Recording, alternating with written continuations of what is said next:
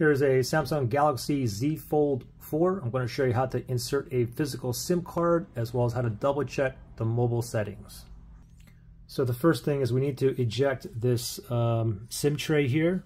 So let me just put it back in and I'll show you how to take it out. Go ahead and grab your SIM ejection tool. You should get one in your box. And it's in your box in this little pamphlet right here. You can see I got my cable there and here's my SIM ejection tool, okay? Now if you don't have that laying around, you can always use a different SIM ejection tool from a different phone. You can even use like a paper clip like this or the back of a stud earring, even a bobby pin as long as the needle's kind of long and thin, okay? So from here, we're going to go ahead and the top left-hand side, you'll see the uh, tray right there in a little tiny hole. So we're going to get our SIM ejection tool and what I'm going to do is I'm just going to go ahead and stick that needle in there and I'm going to press towards the phone. So when I press towards the phone, press towards the phone and that lip will just come out a little tiny bit right there and let's go ahead and pull this out. Now, so I just pulled this out. Now, now I want to turn this over because this is where we're going to put the physical SIM card, okay? Now, by looking at this, um, this SIM tray here, I can see there's a diagonal cut, cut on diagonal cut on the bottom right hand side there. So I'm just going to match my SIM card to that, okay? So you can't get this wrong, okay?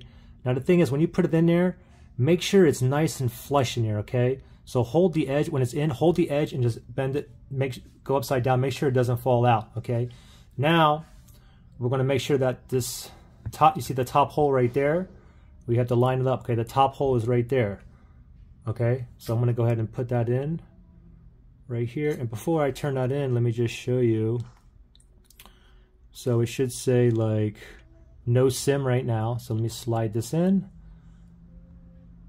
Just like that. And let's see if it finds it. Okay, so I heard that. That's good. I got a voicemail already and I can see my reception bars. Now, some of you have certain carriers. It may ask you to go ahead and restart the phone, okay? But anyway, so we have the SIM card in. Now let's just double check the um, settings here, okay? So let's go to the settings here and we're gonna check the mobile settings, all right? So from here, uh, we're going to tap on connections now, right here. Tap on connections, or I'm sorry, we're going to move over here and we're going to look for mobile networks, okay? Tap on mobile networks right there. And we can see here, they turned on my data roaming by default. Some of you guys may get charged over, uh, you know, after a certain point with data roaming and whatnot, so just be careful. I have unlimited data roaming, so I always leave mine on. You can see they did the allow 5G service, cool, 2, 2G service too. And let's go into network operators and it's set to automatically. And my access point name, it should be my carrier here in the US, which is T-Mobile. So everything looks good.